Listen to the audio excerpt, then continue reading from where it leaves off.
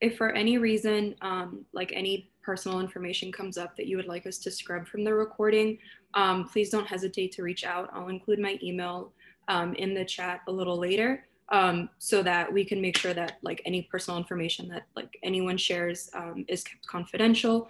Um, I also want to take a moment to thank you all for being here with us. I know that it's pretty late for a lot of people, and we are just like, happy to be able to offer this resource to all of you. Um, my name is Maria Alejandra Silva. I'm a program coordinator at the IWMF. Um, and I work with uh, Jeff, who is here. He's our director of security, um, and journalists like Corinne to offer these kinds of trainings um, to people in the journalism community. Um, before I let them introduce themselves, I just wanted to mention that um, we um, would love for you to participate uh, by sending questions in the chat um, or asking questions in the Q&A. Um, I know that we have a lot of experienced journalists here tonight, so I'd like to invite you all to share any additional tips or advice as it comes up, um, because I'm sure that there's a lot of knowledge that we could share with each other. Um, so Jeff, would you like to go ahead and introduce yourself? Yeah, thank you very much, Al. Um, I'm actually the uh, security director of IWMF. I've been uh, working um, uh, six years as their security director. And before that, I was a security advisor uh, for journalists and media outlets, right? Uh, pretty much everywhere, worldwide, um, Africa, Latin America, and the Middle East. And then, yeah, and since March, I'm like doing webinar instead of um, physical training, yeah. And then it's a, it's a pleasure to be with you guys. Thanks, Jeff. Uh, Corinne, would you like to take it away?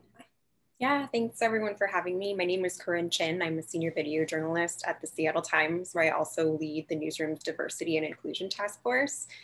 And as a staff journalist with the Seattle Times, I had the privilege of participating in an IWMF fellowship in 2019 um, on the US Mexico border. And before that reporting trip, we received hostile environment and first aid training.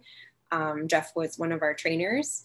So um, I, I, have had that experience, and I've also been reporting here locally in Western Washington throughout this summer of protests. I've also reported abroad on protests. Um, I was at the World Cup protests in Brazil in 2014 and um, other protests um, at previous jobs in Johannesburg and in Nairobi. So um, I have, those are kind of the perspectives I bring. And I'm here today, particularly as a journalist of color um, I know this is a training that we specifically marketed to journalists of color. So really what I'm here as is not a security expert by any means, but as a working journalist, just like you who has to have these considerations as we as we navigate. So my portion of the presentation, I'll really focus on what was going through my head at, uh, during certain scenarios, share some anecdotes, and really just get you thinking about what it might be like to be in the field, you know, this upcoming few weeks or in the future. Um, and then Jeff will really get into the specifics of security tips and tricks. So that'll be the dynamic. We'll both be here in the chat throughout the whole thing, answering your questions. And of course, feel free to contact me on the JOC Slack after the presentation if you have further questions. Um, I'm just at Corinne on the JOC Slack. So, hi. Corinne, thank you so much. And I'm really glad that you brought that point up because I wanted to talk also a little bit about why we decided to do this webinar in the first place. Um, like we all know that like journalists who are people of color face enhanced risk, especially in the context of white nationalist violence. Um, and we wanted to offer a space um, to talk about like strategies to um, stay safe. Um, and as we all know, like the journalism safety world tends to be very like white man dominated. Um, and a lot of the times, the safety advice that they give is very tailored to that worldview. Um, and a lot of the times, considerations for women or for women of color or for people of color just aren't necessarily talked about. Um, so we want to open a space where we can talk about those things too. Um, we'll start the presentation um, with uh, Corinne's uh, slides and her experiences. Um, and then we have a presentation from Jeff on um, like some practical advice on uh, how to prepare and, and, what to do in these situations. Um, and then we will have time at the end for questions. But like I mentioned earlier, if any questions come up during the presentations, please feel free to let us know um, and uh, we'll, we'll try to address them. Um, so Corinne, if you'd like to take it away. Thank you. I'm going to share my screen. Always the moment of greatest anxiety for these things. Okay, can everyone see my presentation? Yes, you're perfect. Thank you. Oh, for Zoom. Here we go. Okay, so um, like I said, you know, I, I, I am not um, an expert, but I these are just things I've learned. There are going to be things that I miss, and luckily, I think there are so many um, great resources that are coming out in light of what's been happening in our country. So I will highlight a few of those throughout my presentation. But I wanted to say before you go, um, I'm not going to talk too much about this. I just wanted to draw your attention to it, especially for journalists of color. Make sure your digital security hygiene is in good shape because we have heard about doxing and online harassment or people finding information about you online. And they, they can then use that to follow you or stalk you or engage in physical harassment or threats. So i just wanted to make sure to mention this because i think it's really important. Um, and it's something that i did um, this spring to really lock down um, my digital security. And IWMF actually has this great online course um, there are a few online courses on digital security, but you can Google or screenshot this and look it up later. Um, this is definitely something I recommend before you even decide whether you're going to cover the events of this coming week or not. Um, so first, um, I wanted to start with like what to wear and, and what to pack, because this is the question I get the most. And I'm actually gonna stop my screen share now because I'm gonna, I'm gonna go through what I what I bring when I'm covering a protest. And so the first thing, of course, is my camera bag. Um, and I try to keep it really compact so that I'm still mobile. And so this is a fanny pack and I, I wear it, you know, either on my front or on the side. Um, so just wanted to say this first because this is kind of a big component of the weight that I'm carrying. Um, this and you know my camera would be outside of it. And then the thing I think I think a lot of you are very interested in, um, well, so maybe I'll just wear this. That'll be fun, right? Um, to show you what all is on me as I'm navigating these situations. So this is my this is my body armor. This is a size three extra small. Um, and I wanted to mention that because I think a lot of women might forget like who this body armor is made for. And Jeff's going to go into recommendations, I think, in his presentation. Um, and this is hard to get at this point, but um, you know, we'll we'll talk about considerations and what to wear and like if it's too heavy for you or all of that later on. Um, but I'm just gonna kind of build my kit for you guys. So I'm going to a situation, I've got this on, I've got my fanny pack on, and on my back, this is my backpack of safety gear. And um, this is everything I use. So in this bottom compartment here, this very easy access bottom compartment, Jeff will go into all this equipment. I'm just gonna show you what I have. Um, I have goggles to protect from rubber bullets. And I have my half mask gas respirator to protect from tear gas and pepper spray. So this I keep in my bottom compartment. If it's really light, if things are getting more tense, I will, you know, I'll start wearing it. I'll, I'll have it on me. Um,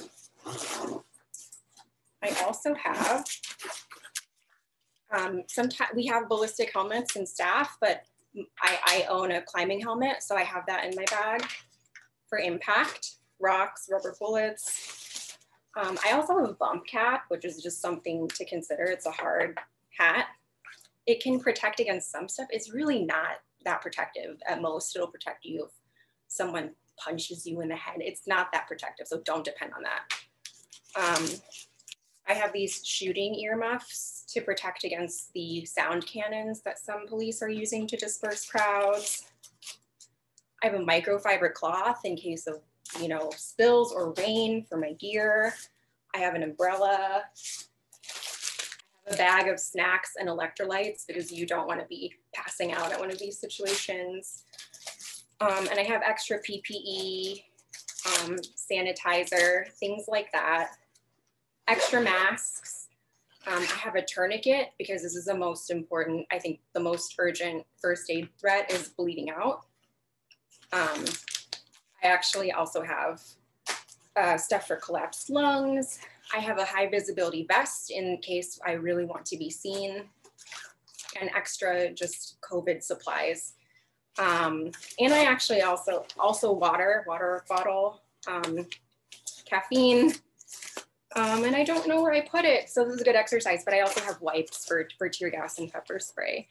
Um, and another thing I wanted to draw attention to is what I'm wearing. So um, I'm wearing cotton from head to toe. Nylon is flammable, so that's not something you should wear. So, so check the actual tags on your clothing to make sure.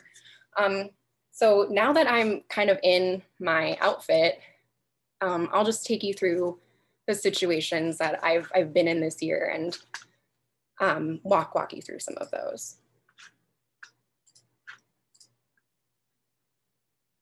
Uh, let me just double check that.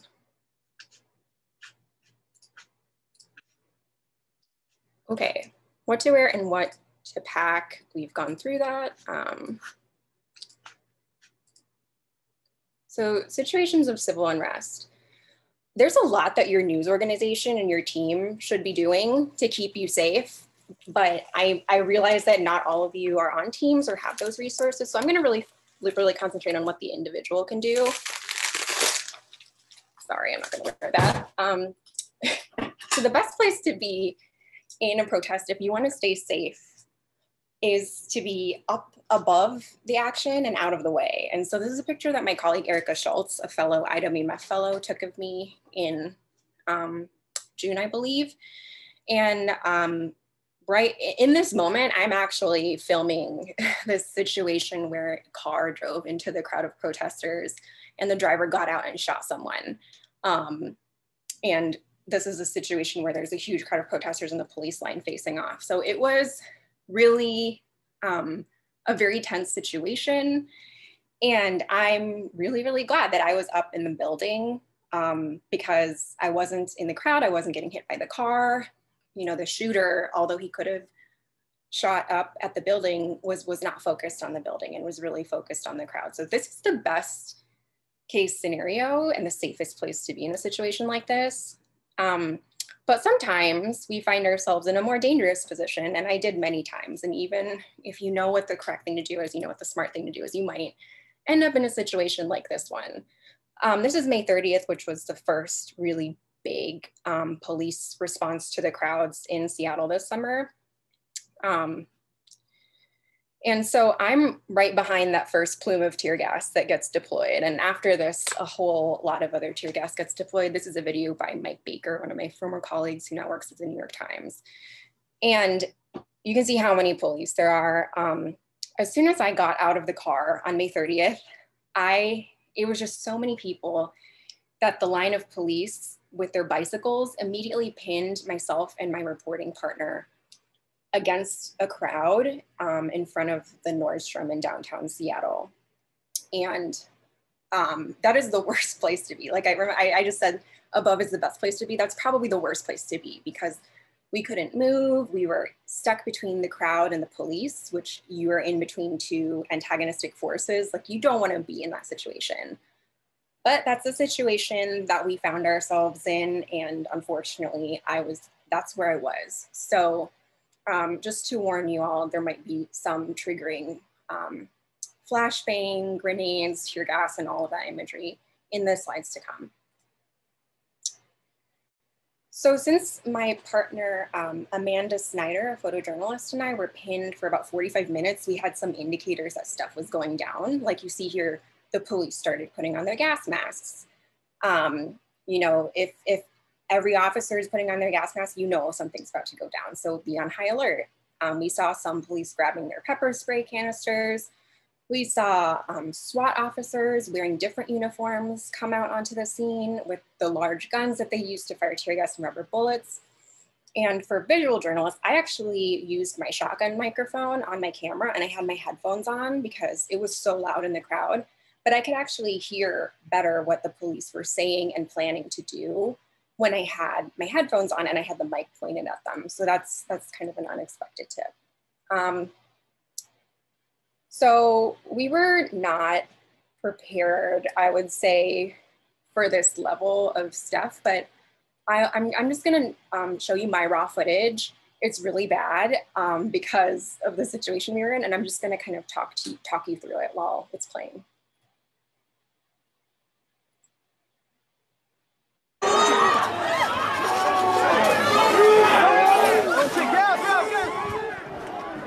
And because you know, I knew to so what just happened there, you probably didn't catch it really quickly. But...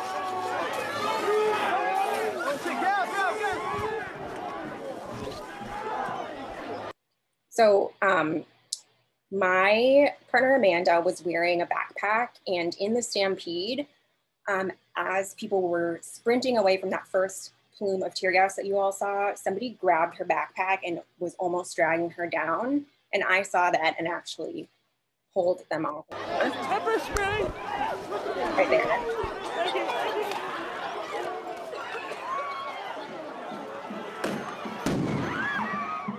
That's the first flashbang grenade, and at that point, I'm thinking, there's Amanda. At that point, I'm thinking they're really escalating this crowd this right now. So you'll see Amanda reappear in my footage because I'm not really focusing much on filming right now. I'm more focusing on where's Amanda? Are we in the correct position? So here we are backing up. We're getting away from where that person was gases. So here we are backing up slowly. Here's Amanda. I always know where she is at all times.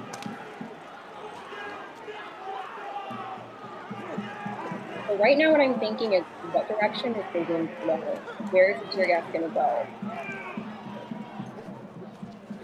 So I'm getting out of the gas right now.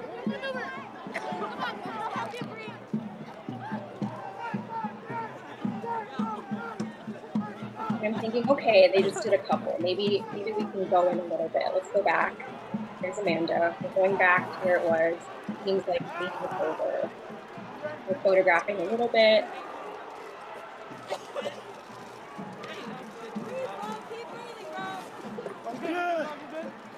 You can hear Amanda shudder, right? Because I'm right next to her all this entire time. Now keep an eye on, okay. So, got my eye on Amanda. I'm not filming right now, I'm just moving with her.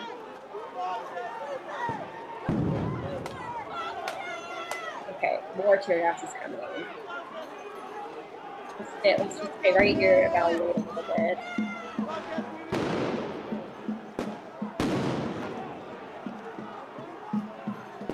Constantly kind of moving in and out of the action and always being aware of what is our spot. Okay, it's getting closer.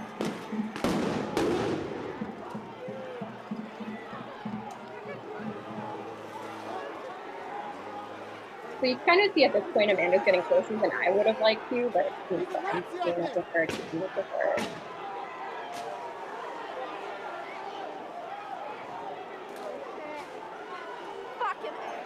So at this point, take a look at this police car. They just broke that back window of the police car and they're stealing guns out of it. And they're about to set that police car on fire. And you can see the tear gas is getting really thick. So that's kind of the point where I was like, you know what? I think that's it's time. We got to call it. We got to get out. They've just stolen a gun out of this police car. They're throwing accelerant on it um, to start setting on fire. Ultimately, they did set six cars on fire that day. And so, with the tear gas getting that thick, you could see it was almost a whiteout in my footage. We eventually found um, this alleyway.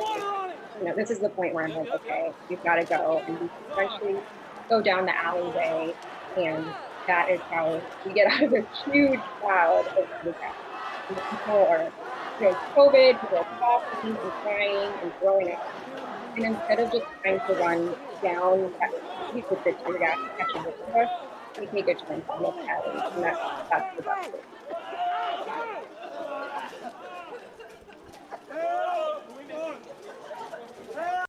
Um, so that I just wanted to give you all a sense of kind of what it's like in the moment when things are really tense, what was going through my head at that time. And most of those things I had gotten from the HEFAT training that I did with the IWMF.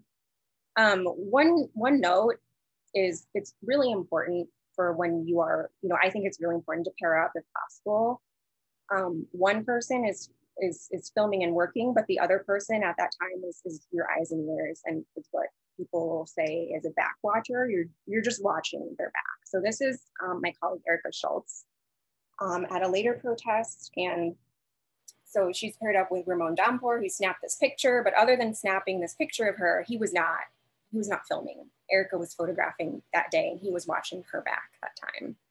Um, and that's Ramon who took that photograph. And here we are leaving a protest. Um, I think it's really important to always work in at least pairs and group up if you can, even if that means looking out for a journalist at a competing organization. You know, your safety is more important and your life is more important than any story or any photograph or any quote you can get. So always, always remember that. And, um, you know, we're, we're leaving this protest. So I'm still wearing my goggles, you can see, right? Because I don't want to get hit by a rubber bullet, even if we're just walking back to the car. Um, and then this, I'll just quickly show you. This is, um, this is actually footage from my HEFAT training in Mexico. And this is how you navigate a crowd. So you can grab each other by the hand. If you, if, if there's a big crowd and you're about to be separated, which, which happened to me and Amanda when we were pinned up against Nordstrom, you can grab each other's hand, right? But it's really easy to pull people apart by the hand. So all this video shows is try to grab people by the clothing instead. Um, it's, it's harder, you know, you have a better grip on someone's top. And um, instead of just pushing forward and walking straight forward, if you do that pivoting, rotating movement, it's easier to navigate a crowd. So I just wanted to share that little clip. Um, and then finally, you know, I know I, have gone really fast and this is by no means comprehensive, but CPJ just put out this um, really, really good um, tip sheet. Read through the whole thing, especially if you're going out soon. Um, they're really, it's really, really good advice. Um, and I'll just quickly go over my experiences with the far right as a journalist of color. Um, like I said, digital security is really, really paramount. Um, but I wanted to share an experience in May. I was reporting, not, it had nothing to do with protests, but I was just reporting out. It was lockdown. There was really no one outside. I was interviewing um, two women of color out on the sidewalk. And it's lockdown, right? No businesses are open. I'm just interviewing them in front of their shuttered business. And this man comes up and just starts filming us. And I say, Excuse me, sir, can I help you? And it becomes really clear that this man is just here to harass and provoke us. I think he saw three small women of color alone on the street and saw our target. And so he started asking really aggressive questions and um, really threatening our safety. But because I had gone through this HEFAT, I did not do what my original instinct would be, which would be to just all three of us go back to our car and leave. Um, because one, I didn't know who he was, what he wanted. Two, I didn't know how many of him there were. There could be someone right around the corner. Um, three, I didn't want him to see any of our cars and be able to follow and track us. So I wanted to share a little bit of, of what I did. So it turned out, I'll just skip a little bit. It turned out that he was a member of a far right group, and this was a tactic they were using to harass journalists which was to film them and try to egg them on into either calling the police or saying something um, that they could then post to their followers on their networks that they could say, look at the biased media. These are all liberal, um, untrustworthy people. So they have been targeting journalists um, by, by filming and harassing them. So I, I didn't know this before that. Um, that was only after I did my research, but um, what I did know was that I, I, I didn't want him to follow me. So these are just some tips if you're being followed. Um, you know, this could happen just like I was, just reporting a normal story. This could happen after covering a demonstration or civil unrest. Um, so how to determine if you're being followed is, this is a, a technique Jeff taught and he can go more into later, but it's, it's called TED and it's called time, environment, distance, and demeanor. So time, if you see the same person kind of pop up throughout the day repeatedly over time, that could be an indication that you're being followed. Environment, if you are at one place and then you're at another and you see them in both places, that doesn't seem connected. Like maybe you're you're at the grocery store and then you see them again at the, at the coffee shop, which is not next to the grocery store, that could be an indication. So check your environment. Distance, if you usually take one route to work every day, um, and then you decide to take another one another day, and that guy and that guy's still there, you might be being followed. Um, and demeanor, you know, if someone's acting weird or suspicious, um, you know, and this is, you know, obviously what I was really concerned about with this particular um, guy was he he was acting in a way that was not typical of a normal person.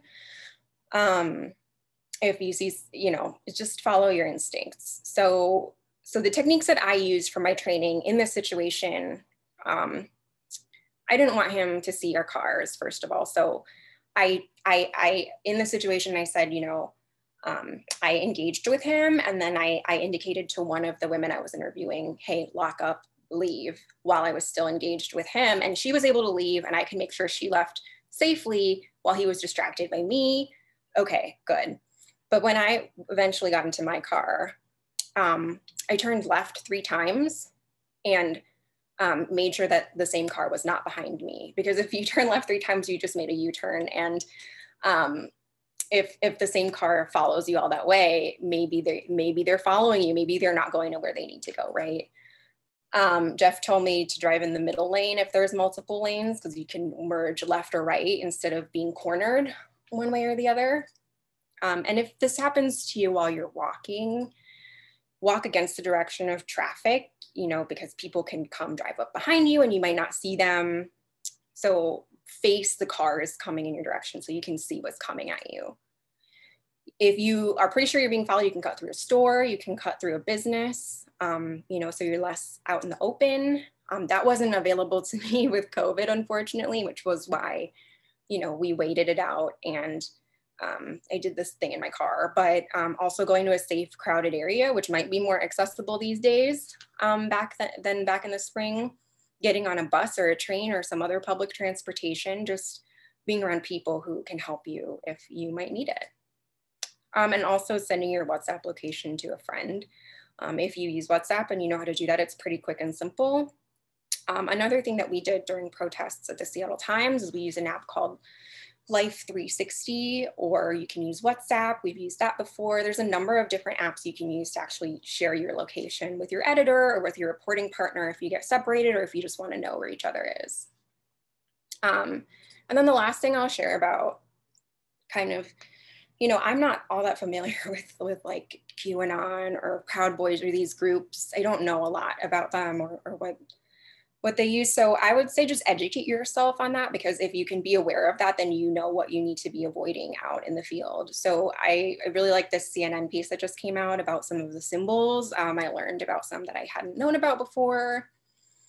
Um, ADL has this hate hate symbol database, hate group database, so they have a lot of information there. Um, and if you are reporting on any stories like this, I highly, highly recommend just familiarizing yourself with this stuff. And that's all I have for my presentation. I know I went fast. I know I just like barely touched the surface on stuff. Jeff's gonna go in more detail and I'm gonna be here for the rest of the um, hour and a half to answer questions in the chat and at the end. So thank you. And thank you so much. Um, it's always super helpful to hear your perspective because obviously we can give all the safety advice in the world, but um, hearing you talk about the practical application of it is, I think, incredibly helpful for everyone.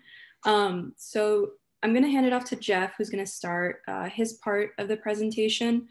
Um, and I guess we'll just give him a moment to start his uh, slides.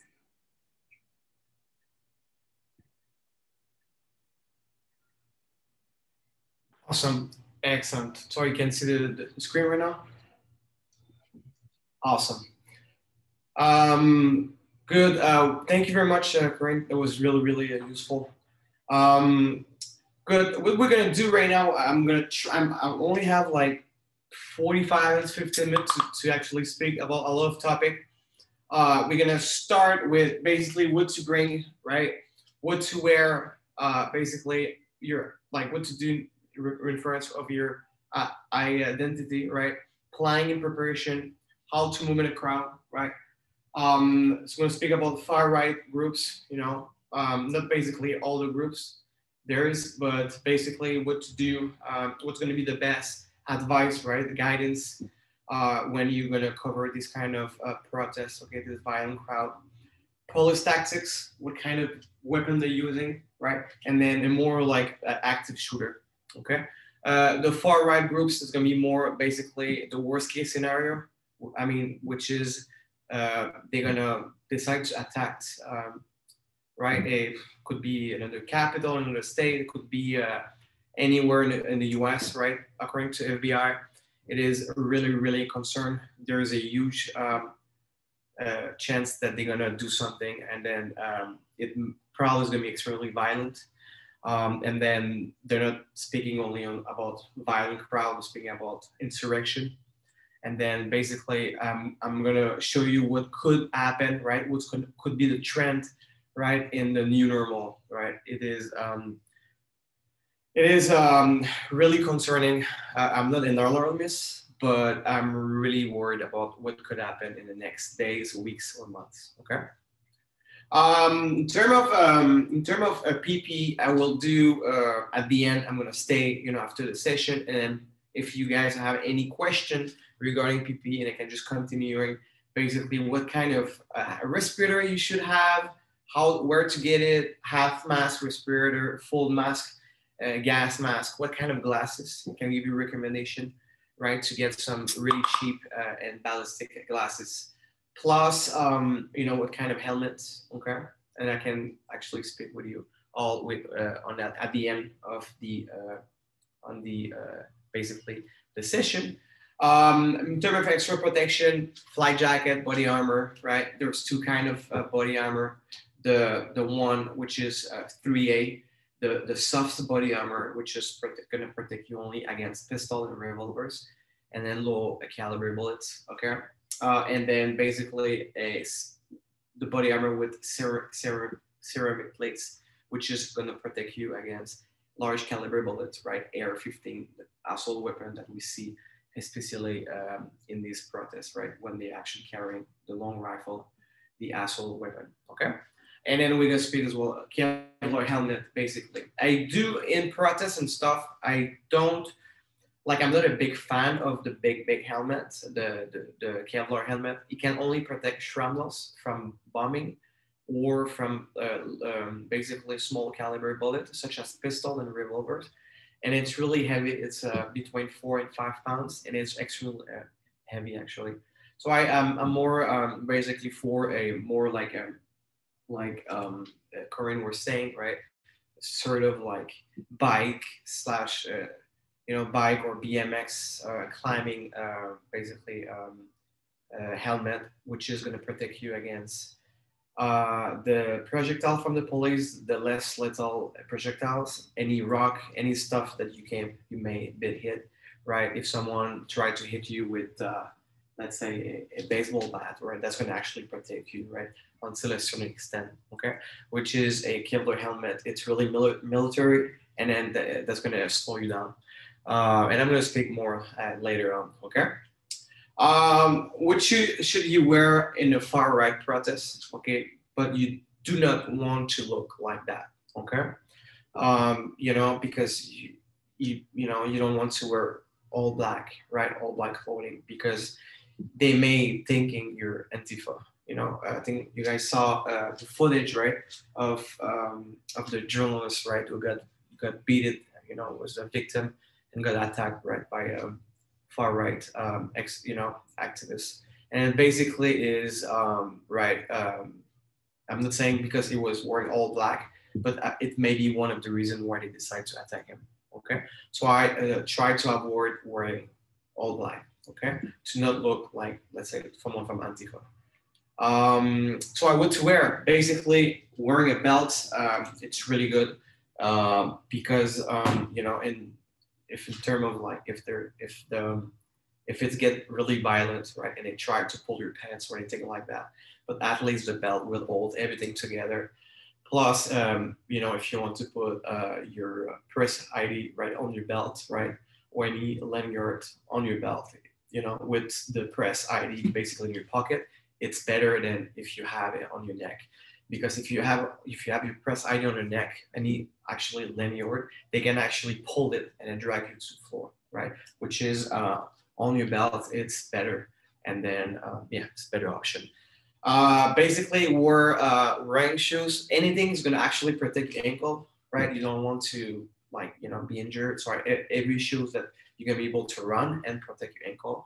Um, so I was saying avoiding wearing all black. Um, basically, avoiding wearing a long, like, ponytail. I mean, you know, you try to fix your hair because if you don't want to basically give them anything that they can pull you, right? So if you have your hair, you know, um, um, like on your back, it's it a problem because they're gonna. It's gonna be really easy for anyone to basically, you know, drag you on the floor. Um, basically, avoiding uh, any like nylon, polyesters, and acrylic, right? Because the problem is, um, like all like if it's cotton or anything like that, if you know it's cotton, if it actually burn, right, it's gonna just burn, right? But nylon, polyesters, and acrylic, as soon as they burn, they melt, and they're gonna cause extremely severe burns. Why I'm telling you that? Because what we've been observing from uh, last Wednesday is they you they may use a cocktail Molotov, Molotov cocktail, you know, which is I'm gonna speak you in a bit what it is, okay, and what what's would be the danger of it.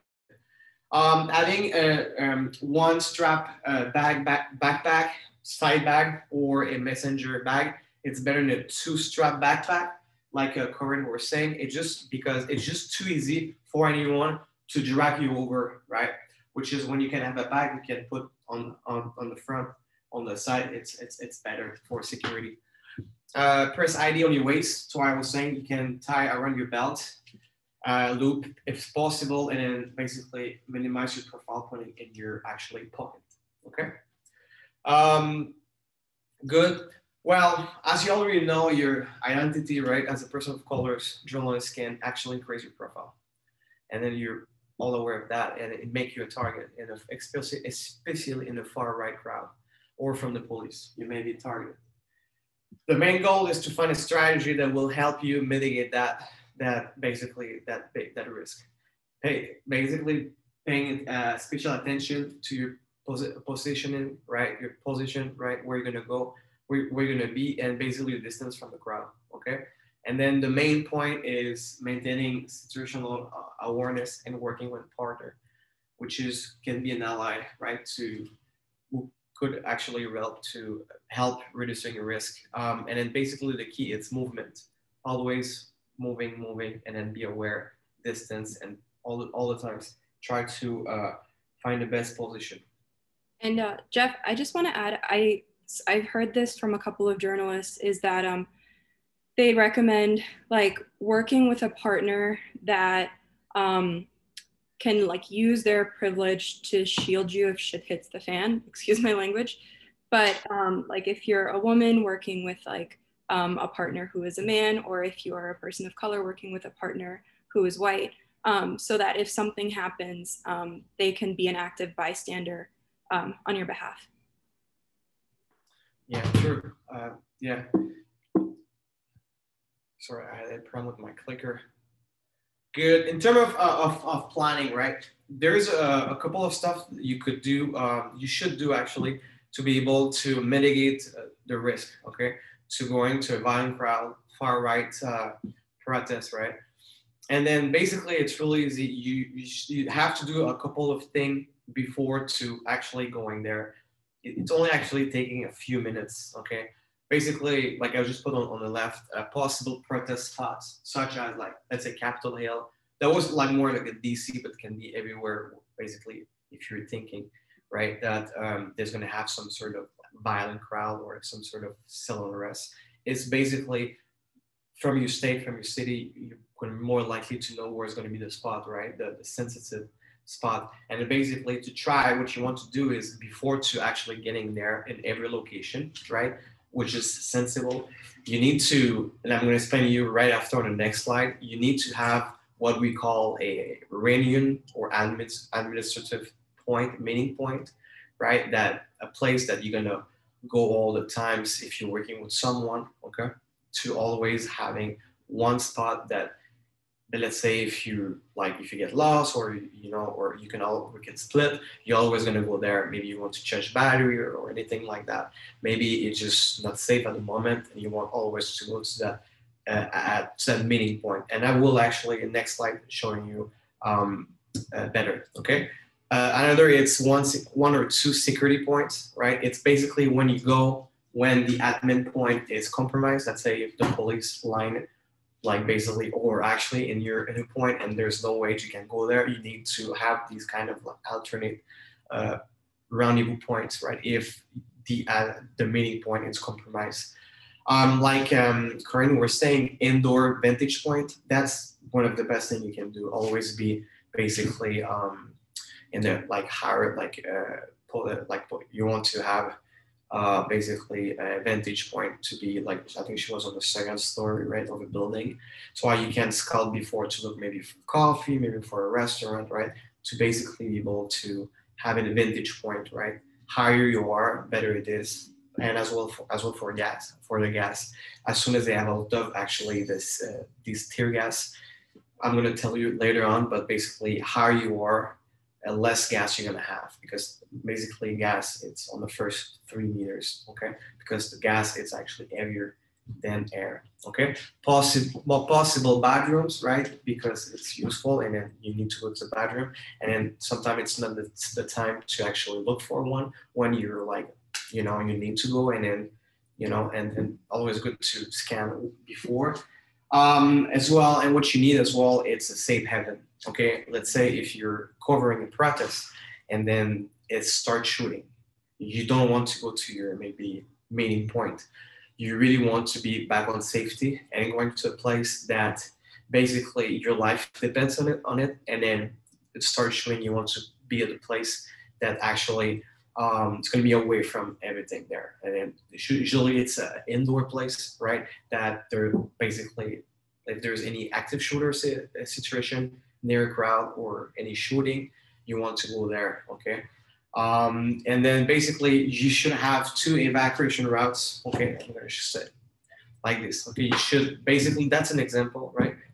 Basically, uh, in Seattle, actually, and then basically, uh, let's say most um, most of the like basically the the action were here, right, in front of the Seattle or over here. Basically, what you want, you want an admin point that it's actually not too far that you can go there like basically in 15 seconds. And I just put I basically on the corner over here of the building. So I basically, if I'm working with Corinne, yeah, it's okay, Corinne, um, you're gonna do your stuff, right? I have to do my interview or anything like that. So all right, let's meet up there, word me what's up or anything like that. Okay. Um, if there's a lot of person, like a couple of thousand, what's gonna happen is you're gonna see that you're gonna have a saturation, right? Um, of the uh, of the network. So I, if I'm trying to WhatsApp Corinne, it's not gonna work, right? Maybe I'm gonna try to call her, it's not gonna work because the basically network there's too many persons sending stuff, and basically you won't be able to to communicate with uh, with your partner with, of the person you're you're working with. Okay, it's basically what a, a good tips that you could do. It's basically putting a, a an alarm. Okay, let's say I'm gonna put an alarm every 30 minutes or every. So Corinne, we're, uh, we're gonna put our alarm every 30 minutes. We're gonna, you know, if we're not able to communicate, right, we're gonna actually uh, meet uh, meeting each other on the on the admin point. Okay, so every 30 minutes my phone will ring. Why putting an alarm and not just looking at your phone? It's just because when you're in it, like basically, especially when it's like chaotic, and then basically, but like five minutes, right? sorry, an hour looked like five minutes. Okay, you know, it's why basically you won't see your phone if you put an alarm, but at least okay, 30 minutes, 30 minutes, 30 minutes. But that can be a signal, especially if you're not able to communicate with that person, to basically uh, meaning the person right there. So it's I, I didn't have any news. We, we get split up. It ring again, but I can just get to that midpoint. Okay. Um, and, and then basically the, the security points that I put here, right? That when I actually um, when they were before, I said, okay, there is a, a, a fire station over here, right? It's um, like more neutral place, not like a police station, but like fire fire station in Oxapola over here, and I, I push it on the extremity. And basically, it's let's say it's start shooting or anything like that, but I know I can just uh, go with Corinne and running there, and it made me shelter over here, right? And then basically the security points, it's either if it's let's say shooting or or is because that point is compromised. Let's say the police over here, uh, they they just decide to charge us, and then we, but our point is compromised, but we still have this point, okay? And then these point, it's you know you can just WhatsApp send a text saying, okay, we're gonna meet and, you know, to exchange battery or something, okay? And it's always a, it's always a good thing to have. Uh, in terms of evacuation routes, right? Let's say the same thing over here you can, let's say if uh, you want to put your admit point over here, and then let's say you're gonna park here, let's say, and then you're gonna walk to the action, let's say the, it's all a big, big crowd over here, you're gonna get there, and then basically your admin point will be, the, let's say near the fountain, maybe the security point is gonna be um, like in the parking lot, or, and then you want basically a secret point, if you have one or two, you need to, basically if you have a secret point in south, you want it north, or if you want east, you know, in both direction. So I basically have my admin point here, my security point over here. Maybe I want a security point basically um, in the order street over here, right? And then basically my evacuation route, it's really simple, right? When I get in, that's gonna be one evacuation route. But maybe if, if this one is compromised, maybe I want to go having a second evacuation route over here. Okay, so I basically, but you need to, if you're working with someone, you need to actually have a plan and speaking with that person, it may only take five minutes. Okay. Um, uh, basically, if you park your car, um, you know, um, and then it's always good to park your car in ready push position, right? Because if it starts shooting, like it getting violent, and then you scare for your safety, and you need to go, it's not the time to basically try to uh, take, drive your car and then put in reverse, in reverse, right? And then go. No, you need to get to the car and then basically going forward. You want to have the car in the ready position, ready to basically leave. Okay. Um, yeah, if you're going to drive, don't park your car uh, too, too, near the action. Like Corinne was saying, if someone is following you and stuff, um, right? It's it's uh, sometimes it's better it's better to pay for parking, right? Because there's someone checking, you know, some sort of security. Um, before to go, you can actually send someone to to scan the area. But to be honest, with Google Map, it's really good if you're not familiar with the place. Um, and then yeah, it and then the er, the earlier it's actually the better, right? Try to arrive earlier, right? Because you know you're gonna be safer this way because you're gonna be able to okay, that's our admin point, that's our safe safety routes, right? It's where we're gonna park the car and if you arrive earlier, you're to be able to really see, have a better, you know, vision than try to get there like in the Capitol, right? Everything actually happened like this, right? They nobody had the time to to plan. Okay. Um, so I was saying basically having the alarm every 30 minutes on your phone to remind you to go back to the ending point, right? Otherwise, you can just say, okay, I'm, I'm still working. Are you good? Okay working as a team when shooting pictures, like Corinne was saying, it's how always like a pair of systems, buddy systems. Uh, and then basically the most vulnerable it's your back, right? You really need to protect your back. It's hard, even though if you're working, let's say I'm going with, I'm a, let's say I'm a photographer with uh, Corinne, and basically, basically if I, we're back, I'm not saying like back to back like this, like, but we can be like two feet from each other, boom, boom, boom, and then basically moving that we're back to back, okay? Um, and then or or athletes buddy system always have a look if it's really getting violent and stuff um, but you know having someone in your back it's really really useful uh, like I was saying uh, earlier, right? Try to film from a high ground above the crowd if it's possible. It's why if you find a spot b- before, it's always a good thing. Stay away from anyone with a loudspeaker. They're the first one to basically because it really depends, but the police they're the first one to basically snatch to to detain, and then basically usually especially in the far right protest, the one with with a mic um, is not the most moderate person on earth, right? Is more likely to harass you, right? If you're near that person, stay away from this person. Okay. Uh, you have to know your limit and when to get out. Okay.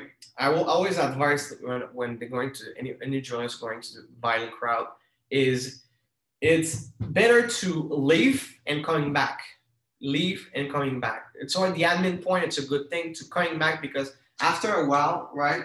Let's say in the, the crowd in the Capitol, you see like journalists, they're like in the middle and then basically they kind of lose the focus of everything. It's better to just going back and going in, going back, going in, okay? So at the admin point, it's a good thing to just, okay, okay, this, this, this, this, okay? But know your limits.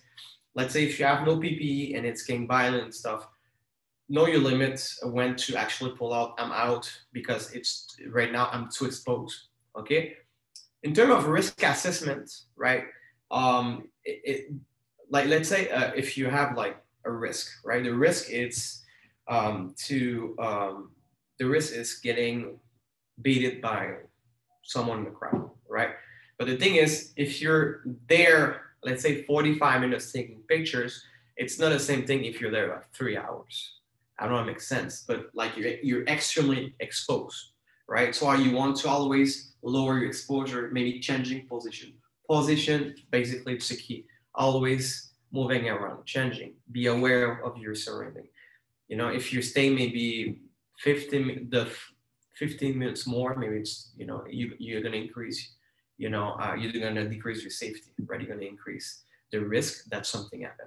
Okay, so I always have uh, to think about know your limits and then there is no problem to, to basically pulling pulling back and going back uh, if individual are staring at you right or verbally yelling at you right basically just stop shooting right and get some distance from them you know you sum them from the corner of your eye it is really really good and i know it's hard especially with ppe to try to work with your perfect vision if i say uh, someone right, who's staring at me for like five minutes and start communicating with this body, just change position, leave, go out, just leave the place, and after just change, going to another uh, place on the crowd. Okay, um, you know, and then you know if they're staring at you or they just you know just stop, take pictures like you were doing in it, and then leaving. Okay.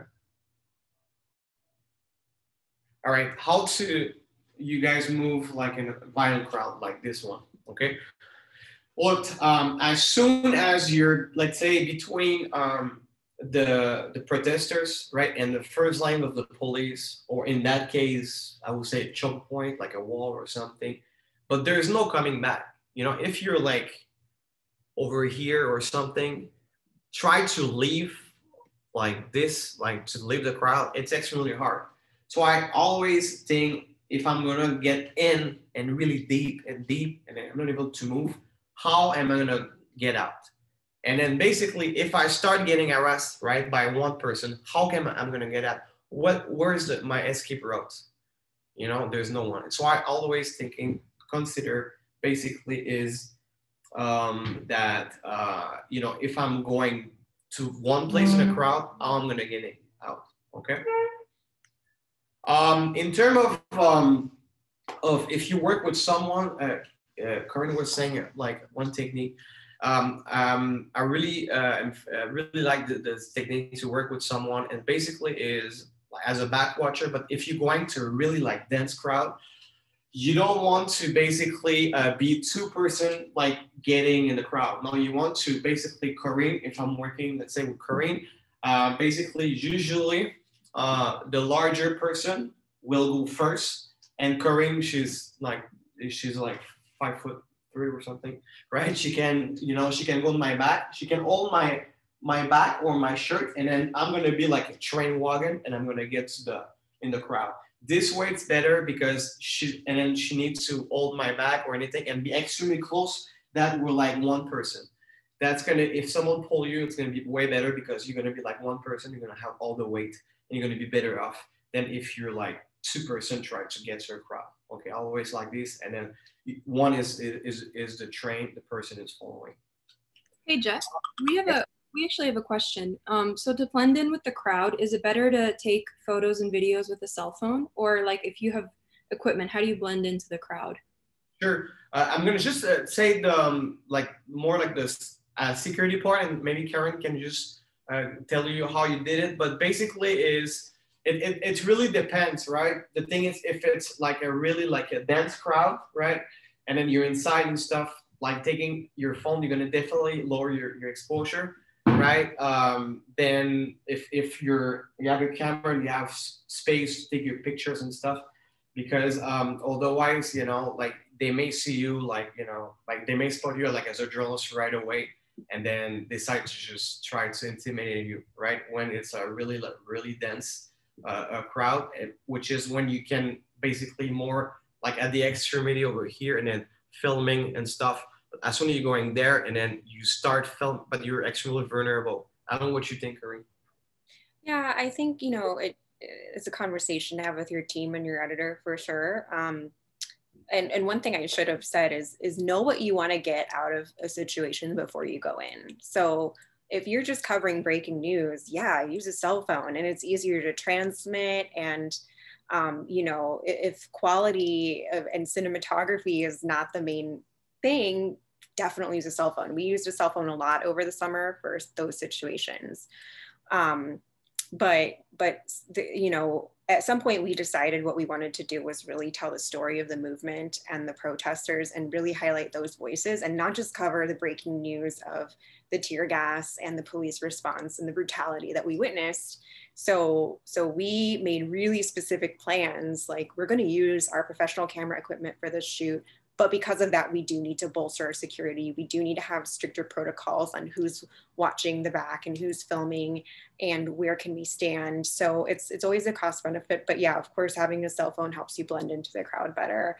Um, I will also add that you know live streaming has been something that's been really prominent, but keep in mind that if you're live streaming, people can find you. Um, so if you are concerned about being a target, you know, double, you know, think twice about live streaming or broadcasting. You know, I was really watching on, on Wednesday, I was watching a lot of correspondents broadcasting as they were being evacuated out of the Capitol. And I was like, oh my goodness, they can see where you are. And, you know, that's really dangerous. So I would say, it, it, you know, cell phone will help you blend in better. Unless you're live streaming, then they know exactly where you are. So be careful with that. Awesome. Thank you, Corinne. Um, yeah, I mean, look, when you're going to a crowd, like basically, let's say there's like 5,000 person or big, big crowd, you know, um, but basically the, there's um, a lot of, of, folks or when they're going to a crowd, they're doing like the snake, right? They're going there and basically they're losing their sense, right, of or, orientation, right? So are they getting, They're going here and getting in and getting in and basically, especially if you're too, too actually tall, basically you're gonna be certain of a of person, and then basically you may facing someone in the middle of a crowd who really don't like you, and then you're there, and then you're like stuck, right? So I, what I, I like to uh, teach, I call it the flower method because at the end it's a really nice flower. But basically is like it's an example. If you start here, right? Uh, let's say your admin point is over here, and then what you want to do if you want the crowd to like let's say take picture of the car, right? But basically what you want to do, you want to go in, right? You do what you have to do. And after when you're you reach the level you want, you don't want to continue like a snake, right? You want to going back to the to the path, right? And basically the goal is you want to going back, right? And then always be on the outskirts, right? And after, okay, I'm going in, let's I'm going over here, and okay, I'm done. Okay, after I'm going here. And then basically at the end, it should to be not at the end, but basically it should um, be like um, um, like a flower, right? And then the goal is not to do like the snake, always going in, going out by the same path you actually took. Okay. Um, alt-right uh, movement, right? Because of the outcome of the election and insurrection on the U.S. Capitol in D.C., waves of violence from the alt-right are actually extremely likely to happen, right? It is, uh, if it doesn't actually happen, I will be really surprised. So it's more likely that uh, a lot of stuff's gonna happen than, you know, the opposite. So I, uh, the, these alt-right groups, you know, you have like someone from QAnon, like, you know, who's like, you know, is one individual, right? Gonna go to a place, maybe be violent, right? Maybe bringing a gun and starting shooting on people. But there's really like, you know, groups, right? Different groups that they're extremely trained, like like three percent, right? Um, there's they they have been trained for years for that moment. Okay, so if you see, uh, and then I think in the footage on the Capitol, we saw them really well. They're dressed, uh, they have a chest rig, which is, you know, they have body armor, helmets, uh, or not something they prefer actually, baseball cap. Um, you know, they have their gas mask on the side, right? They look tactical. They actually look like special forces, right? Uh, they have a headset or they have two-way radio, okay? Um, they have a backpack, Okay, these individual they communicate with each other or in a crowd or extremely dangerous, right? Because they communicate with each other, they organize, they're they've been trained for years, right? And most likely they they they they're carrying weapons. Okay. And then basically if you see this individual, you have to try to take a distance, okay, in a crowd because um, you know, like you know, it, it's not like one bozo from QAnon, like you know, um, going there and then trying to something. No, they're organized and trained. Um, so I, you know, what the likelihood, what could actually happen, right? With what we know, it's going to be uh, like coordinated attacks, right? Not only in DC, but everywhere in the US, right? They want to plan an attack, right? It's a, it's a terrorist attack, right? Uh, and then what they, they more likely to happen is they may using, um, you know, they're gonna have a target, right? We don't know if it's a march. We don't know if it's a political like infrastructures. We don't know that. There's, you know, there's no intel that we know, but they may just, you know, decide to go into crowd and shoot, shoot people, right? Maybe using bombing, right? But one thing it's it, it could happen. It's a shootout. Okay, shootout between the National Guards and these folks, right? the police against these folks. So you may you you you may uh, be in the middle of it, right? In the middle of, of the shooting. So I basically, um, if a confrontation happened, you have to look for hard cover, such of a, a car. The only piece of what's actually going to protect in the car, it's the engine of a car, of a car, right? Not the trunk, not the door. It's only the engine. The rest of the car is useless if you want to take that hardcover, okay? Any concrete protection, like, you know, the big block over here, a, a tree, it could be a corner of a building, right? That will actually protect you against projectile, okay? Um, one other thing is avoid being near someone with a gun at least five meters. I will show you why next slide, okay? Because otherwise you're gonna be in the corner, you're gonna meet in a cone of fire. You don't want there. Uh, get to a shop or a building, right? That's going to be hardcover there, right? If you're not shooting, try to uh, lower your your body, right? You want to uh, uh, be in prone position, right? Hitting the deck. But if you want to continue doing your, your stuff, because maybe it's going to shoot everywhere, they're to have shooting everywhere. If during a shootout between individual, you find yourself uh, be, behind like a car or like a concrete uh, structures, uh, avoid, what you want to do is you don't want to, you don't, you want to avoid picking out from the top of the structures. What you want to do, you want to actually, be, when you take pictures, you want to use a side. Because if you actually use the top, right, overhead over here, you're extremely, extremely exposed. You know, if they're shooting your direction, you're more likely to get hit. I mean, I don't have much time to go in really in the details, but basically, if you're going over like a structures, there's like 200 degrees, right, of the direction they can shoot, shoot you, which is if you're going on the sides, right, like of a car when you take pictures, or let's say concrete, you're way, way less exposed, right? Uh, there's only like, uh, so only like a percentage of basically degree, right? 360 degrees, where I can actually be able to hit you. It is really easy to get it. You're way more safe doing that than going overhead, always. Um, in terms of cone of fire, stay away from person with a gun because it's really simple. In the shooting, the person with the gun tried to kill the person who's shooting him, right? So uh, it's a cone of fire.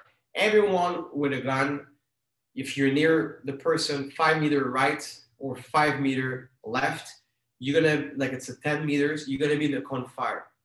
If you're like shooting pictures from let's say a car and then you see a police officer shooting back or a national guard shooting back at an individual but basically the person is trying to shoot is doing the same thing but the projectile is gonna go in your direction so i don't stay uh, behind someone who's shooting let's say if they're shooting in that direction don't stay behind because you're automatically in the cone of fire and you don't want to be five, five meter left or right from that individual because automatically when they, they aim at him but the projectile go five meter left, five meter right. What you want to do, you don't want to be behind. You want to be at basically if it's a street, you want to be where is there like the building or the wall over here. Sometimes they have like a door. You want to be away. You want to be away from the cone of fire. Like basically in the street, it will be let's say the street, the car, the sidewalk. You want to be near the wall where they have the building, maybe inside like a circle entrance there, like in the picture over here, right? But although don't stay in the cone of fire because you more likely to receive a, a projectile.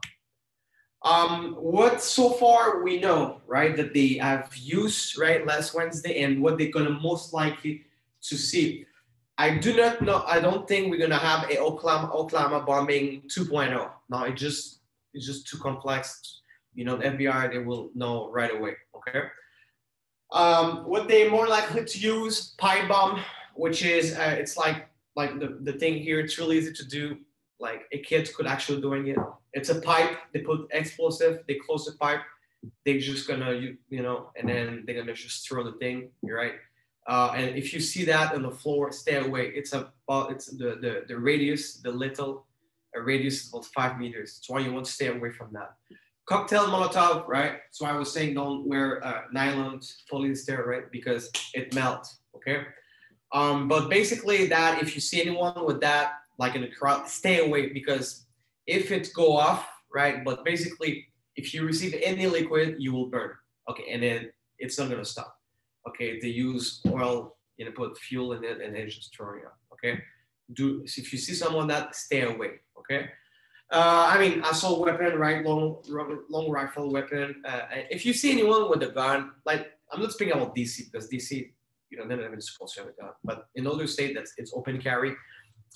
As soon as you see a person with a gun, right, and if you know, try to avoid that place. If they all have guns, I mean, it's you know, it's an they're dynamic, but try to avoid to have any interaction with someone with guns, like at least you know, visible guns in term of in term of bomb threats, right? Bomb threats, it's um, um, right. The I like I said, I don't think they're gonna the, the, the threat is gonna be a big big bomb like in a big explosive, right? But if they manage to have a bomb and then basically the police say, oh, we may have some a car with a bomb in it or something. As soon as you hear bomb, stay away from windows because you're more likely because like in uh, in Lebanon, like in the Lebanon uh, bombing, it was a good example is like the the first wave went up to one mile, right? So I, if you're near a windows, right, if you're near uh, a car, you have to stay at least minimum five meters from a window, right, or any glass. Why? Because if the bomb go off, right, you could be at 500 meters and then if you near, like, let's say a glass door near a windows, all the windows gonna be like shrapnels, the, the glasses from the windows from the car, and then will basically hit you like shrapnels, okay? You have to stay at least at five meters, okay? And then um, try to find a hard cover, but stay away from windows or any glass, okay? If, let's say, okay, well, we're, we're thinking there's a bomb or something like that. Of course, if you don't know, you don't know, but uh, that's pretty, okay? in term, there's any question uh, on that? No, we're good. Yeah. Um, awesome. Active shooter. Okay. So what we saw is basically alt right uh, militia groups, extremely organized, but all the time you could have, let's say, someone from QAnon is saying like, you know, I'm, I'm gonna save the planet, and then it's gonna start shooting on anyone, right? But basically, that's an, that's some uh, something actually could happen, right? Um, right um, during a protest. Okay.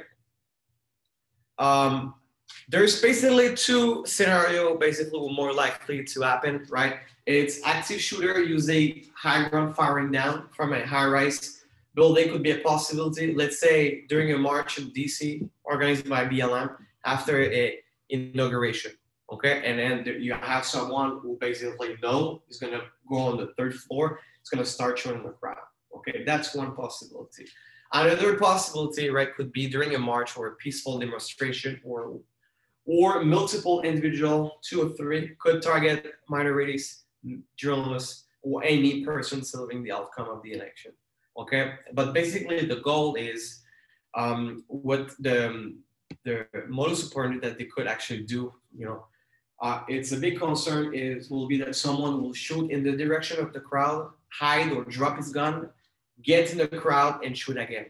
Can they have it? Because in the crowd, if let's say someone shoot two, three person, hide the gun and go in the crowd, right? Uh, you will not see the person. The person will go there and then shoot again and after moving around and moving around.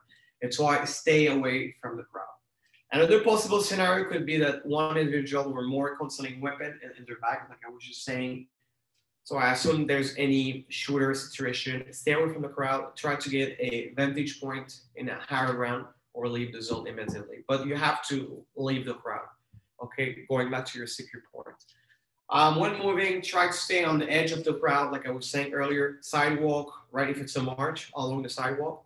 Um, if a shooting occurs, it's the safest place. Always have a safe route or possible cover. So I basically, if I think basically that it could be a, it could happen, but I want to have my admin point or in my security point, I want to have some place like a cover, right?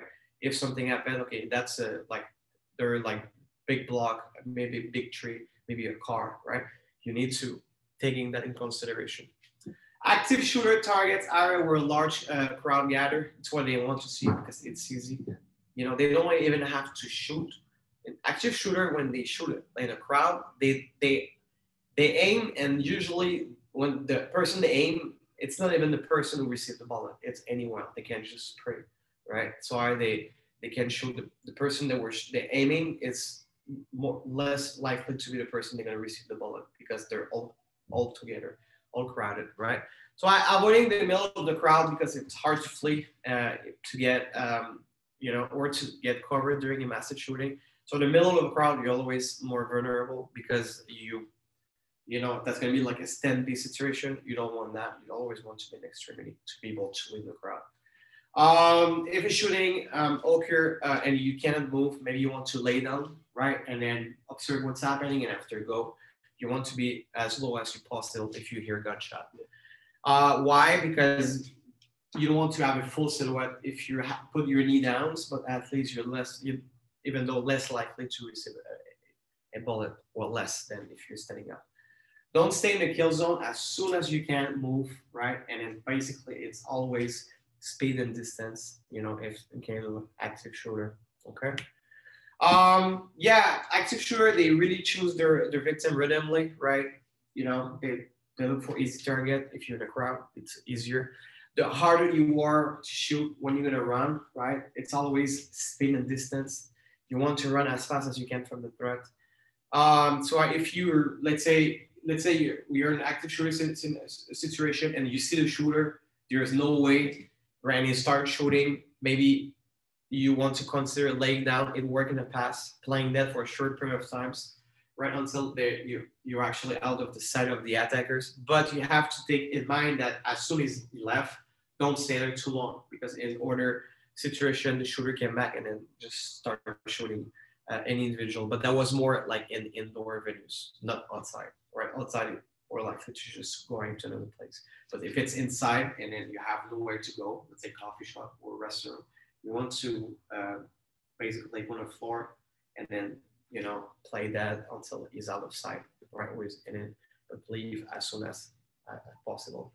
Okay, uh, in terms of security forces tactics, right? It's really, really basically the same they're doing for years. Okay, it's because it's working. Okay, uh, of course there's a lot of like new weapon they're using now, but which is we're gonna see. But it's always two things, right? Containment, right? It's it's based in line and bars, right? Local police, special police units, you know, with the shields and the bat- baton, right? And national guards. National are more likely to be these kind of line Okay. Um, so that's containment, which is they're passive. They just stay there, you know, they don't move until they receive the order to pass from containment to dispersal, which is they're gonna. Um, there's any question because I see the number eight, Maria Alejandra. There's no question right on the chat. Oh no, I'm sorry. We just got one. Um, so there was a question about working with a partner and watching their back. Are you usually communicating verbally in the middle of the action, telling them when you need to pull back or go, or do you physically maneuver them? Um, asking because it seems like it would be difficult to hear each other or risky to communicate your next move out loud. Sure. Uh, in terms of, uh, of it's it's we, we need to uh, and then jump in right after Corinne. But basically, in terms of like let's say um, like I'm in danger or I, uh, I really need to getting out, right? And then everyone is yelling, right? You sometimes you don't have to explain, or you could what what I call like a password, right? You can that can be one words that that person knows that you need to go to the administration point, right?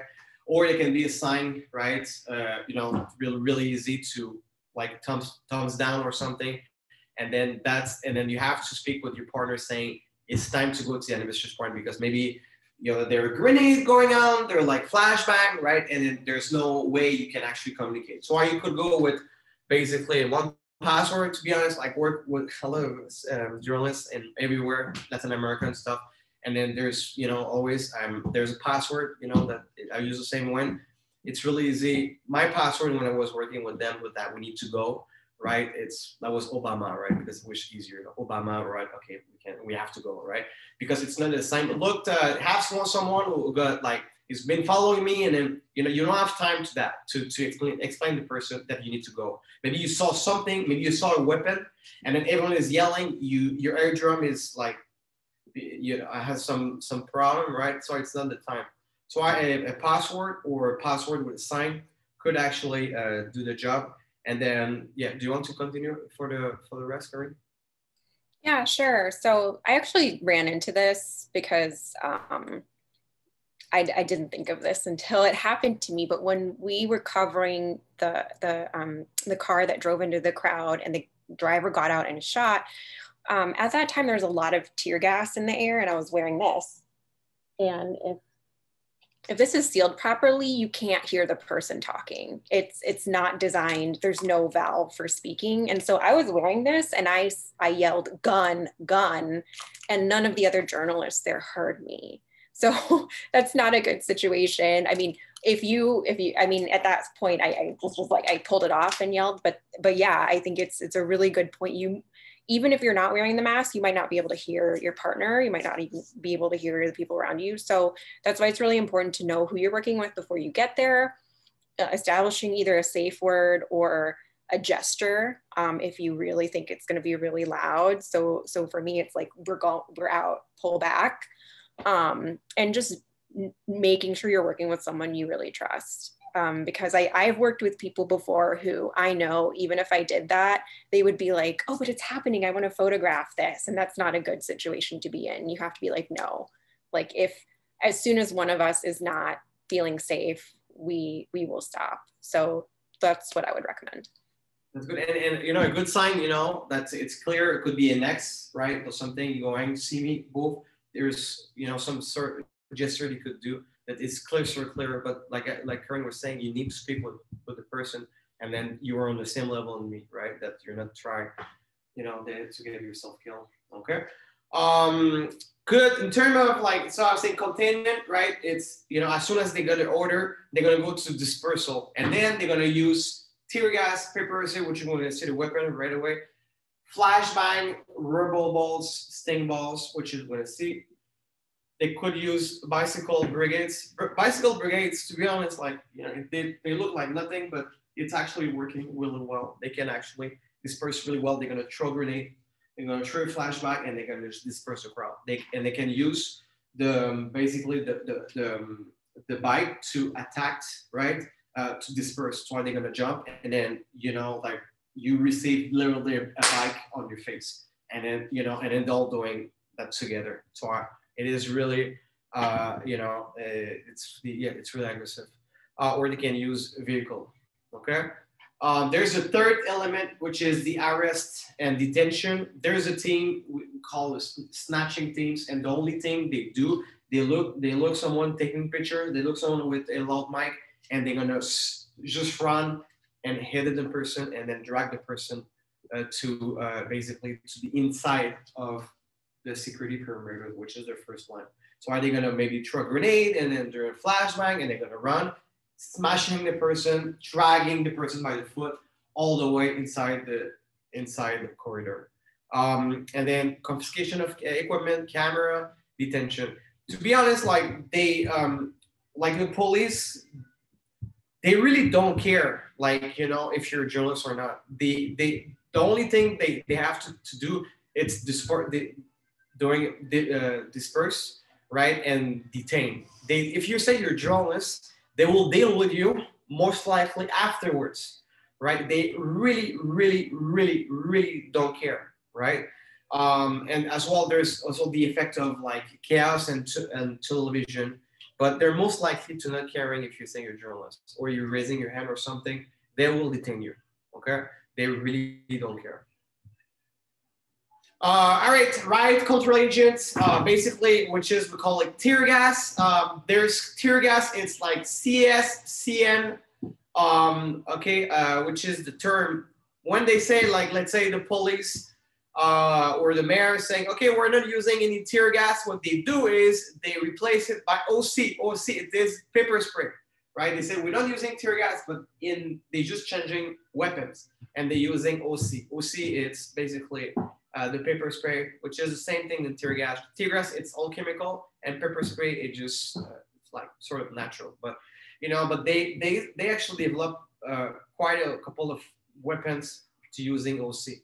But let's say like the federal police or the army, they use tear gas, even if they said they're not using tear gas. Um, right, one uh, of the new uh, weapon they're using and they're overusing, it's a rubber ball or also called a sting ball. And basically what it is, it's um, they it's a grenade device and that's gonna be light, sound, and OC. It that, that's gonna actually when it explode is gonna release small rubber balls, right? And then what's gonna do is gonna hit you and then that's gonna explode and there's gonna be OC, it's gonna be pepper spray. So if you're near a grenade, it's gonna be a big boom, a big flash, like a flashbang, and then you're gonna receive uh, like small like rubber bullets, and that will basically kick off and then you're gonna fill all the smoke and it's basically a, a, a pepper spray okay and then basically it's psycholo- psychological physical and then um, and then light and sound it is as soon as you that's the brain over you're really freaking out there's no way you you cannot keep your calm it is really like uh, freaking out and you're gonna feel if it's near you you're gonna feel that you have a burning sensation right? It's all the psychological effect of it, okay? But there, there's like you're not supposed to have any burn. It's the burning sensation on affected skin area too that you freaked out, okay? Another one, pepper spray, which is the first line, or any police officer have that, and then basically it's OC pepper spray, and it goes to three to five meters, right? To be honest, like pepper spray, like you have pepper spray in tear gas as well. It, tear gas is just a mix of everything, right? It's a bit more strong, but pepper spray, but basically it's a spray and then gas, uh, tear gas, it's basically uh, like a smoke, okay? So it's three to five meters, okay? So stay away from anyone with a line because they can use it, okay? Uh, flashbang grenade, okay? It's, you know, big boom, big flash, right? 180 decibels it's extremely, extremely, extremely uh, loud, right? Um, and then it can cause uh, disorientation, confusion. You're really confused, you're scared and stuff, and you're freaking out. Okay, that they overuse a lot to disperse the crowd. The same with the grenade. The grenade is a bit more effective because they have the, the gas on it. Um, uh, uh, what they're gonna, the tear gas, they're gonna use this weapon to actually using it. Okay, it's a 40 millimeter, um, or they can use the one on the bottom, right? It's a grenade launcher, and what they're gonna use is this weapon to actually shoot uh, shoot this weapon um, to. Sorry, that was the wrong slide. Yeah. Oops. Sorry. Um, yeah. Sorry. Uh, yeah, basically they're gonna use this weapon, right, or the, the big riot gun over here to basically be able to shoot uh, tear gas, okay? And that is basically the radius of the smoke. It's 10 by 10 meters. So if you see a big uh, white uh, smoke, it's 10 meter to 10 meter, and that's gonna stay on at least until 30 seconds. And after that's gonna move with actually the, the wind. They can actually hit until 75 meters they just incline the guns, and then they're using the same gun to basically uh, shoot with these. Um, basically, they call it a less lethal foam projectile. You know, everyone call it rubber bullet. They actually stopped using rubber, rubber bullet because they figured that they killed too many person with rubber bullet. What they use, it's they using these less lethal foam projectile. Okay, it's extremely painful, right? You you know you could die, you know, if they shoot you within 10 meters in, on, on, on the face. Uh, the uh, effective range is 50 meters, right? Uh, and then they call it sponge round, uh, round foam rubber ball. It is extremely, extremely painful. It can cause you severe injuries, right? And then um, you can see on the pictures over here, okay? Um, so I'm using the same gun for these uh, projectile, right? And then the smoke. Or they can just use the, the grenade, CS grenade, okay, tear gas, okay? And then you know 25 meters will be the, the range but it's the same radius 10 meters by 10 meters okay? And then they're going to overuse these kind of uh, stuff. While the weapon they now they use the most it's actually pepper balls from oc when they said like oh we're not using tear gas anymore but they're using pepper spray. Basically it's a it's a paintball gun and they fill out or modify paintball gun and what they do is they fill out with uh, with uh, per, uh, pepper ball, pepper spray, projectile. Hit, they hit you first. The, the rubber, let's say the, the, the pinball projectile would explode and then you're gonna, you're gonna, it's gonna go straight to your lung and that's gonna be pepper spray. Okay, so if you see someone with that, stay away. Okay, and uh, basically it's no more than 50 meters. It's more like 25 meters. Okay because it's a paintball. 25, 30 meters, uh, you know, that's going to be basically the, the effective range for this kind of weapon. They can shoot you a lot of weapon uh, of, of, of time because there are a lot of projectile, like a, like a paintball gun. Here it's more like local. Uh, local. If you see a, a, a, shotgun like that or a orange, orange like orange uh, shotgun, is because they're using beanbag. Beanbag, uh, it's uh, it's a it's basically like the other projectile I was showing you it's extremely painful, right? And the range is 25 meters. Uh, and it's like, yeah, it can uh, break you a, a, rib. It's extremely, extremely uh, painful, okay? That in terms of basically to disperse the crowd. If you're exposed to tear gas, do not wear contact lenses, okay? Wear glasses. Maybe if you have glasses in OPP, maybe you should maybe put an elastic band, right? You don't want to lose your glasses if you're running cosmetic can be uh, irritants, right, in the contact of, of, of tear gas. The same with contact lenses. It's why you could actually burn your retina. So I do not wear at all uh, contact lenses. Wear glasses, okay? If exposed, do not have PPE. Try to get, like I was saying earlier, a higher ground because gases are actually heavier than air, okay? Um, once home, clean your clothes. If you, you know, you need to clean your all your clothing, everything because it's all in contact. Underwear, sock in the laundry machine, but at cold, cold water. Why? If you bring hot water, it's gonna always come back. You will never get rid of the gas.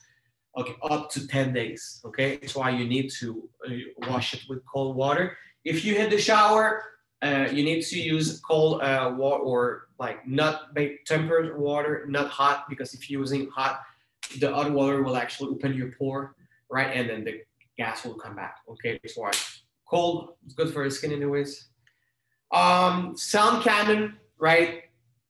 Sound cannon is um, uh, is a cannon they're using, uh, and they're probably going to use it everywhere. It's uh, it's a long range acoustic device, uh, and it's going to emit until 150 decibel. And it, as soon as they deploy it, it's a usually it's a truck with a big, big like speaker sort on the top, or it's more, you know, it's more like uh, rectangular, right? And they they're gonna as soon as they shoot, but it's a sound cannon. There's no way you can stay. They they force you to just getting out because you cannot even hear anything, and it's uh, after a while it's really painful.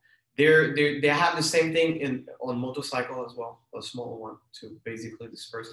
You can actually carry a ear plug with you, right? Or if you want to be like Corinne, you can actually have a pair of shooting earmuff in your stuff uh, because if they're using a lot, you want to have that. Good thing about the pair of shooting earmuff is it will block. Uh, you're gonna be able to speak with everyone, right? But it's gonna block all the decibel until like 90, right? Which is a hair plug. Uh, it's until a certain limit, and you won't basically hear anything around you. Um, okay, in terms of um, basically, um, in terms of gas, uh, yes. I just want to stop um, because I know that we are like at the end of our time, so we, um, maybe we could take uh, questions so that the. I, I have one more, uh, more slide. That's it. Oh, okay. Sorry.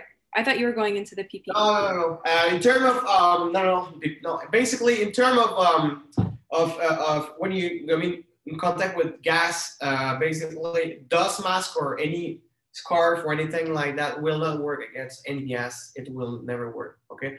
What could work? It's actually N95 or the approved KN95 without valve will actually work because it's actually filter 95 percent. It's going to work until a certain extent, um, right? Um, against uh, tear gas, okay, particle, okay. Uh, but the normal mask will actually not protect. There is something you can buy on Amazon right before we end it, and it's called the RZ mask. Uh, I actually tested myself with pepper spray. It worked really well because it does stop 99.9% of, um, of any particle, including gas. So it worked really well uh, with that. Okay. On that, I will let it to Maria Alejandra. Sorry, Jeff, didn't mean to cut you off. Um, yeah, I know that we're over time. Um, so I wanted to give everyone the chance to ask questions if they have questions. Um, and we'll stick around in case anyone has like any very like specific questions about what to buy or um, what to take. Um, and we'll also share this Jeff's slides, which um, if he had kept going, like there's links and more explanations of the type of PPE to get, um, but we'll share that with you with the link so that in case you're interested in buying any of that, um, you can go ahead and look at it. Um, and then we will also share the recording of this webinar in case you want to refer back to it. Um, and my colleague Jen actually shared a couple of resources. Um, if you need uh, financial assistance to cover, to cover PPE medical aid, uh, destroyed or stolen equipment, um, please apply to the IWMF's US Emergency Fund.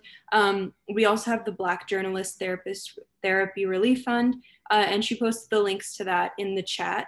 Um, she also said to save RCFP's hotline number um, in case you need a lawyer when you're in the field, and that's in the chat as well. Um, so that being said, thank you so much for being with us and uh, for being on this webinar. Um, I know that it was a lot of information um, and there's a lot to think about, um, but again, like I said, feel free to dip out if, if you need to. Uh, we'll stick around in case anybody has additional questions.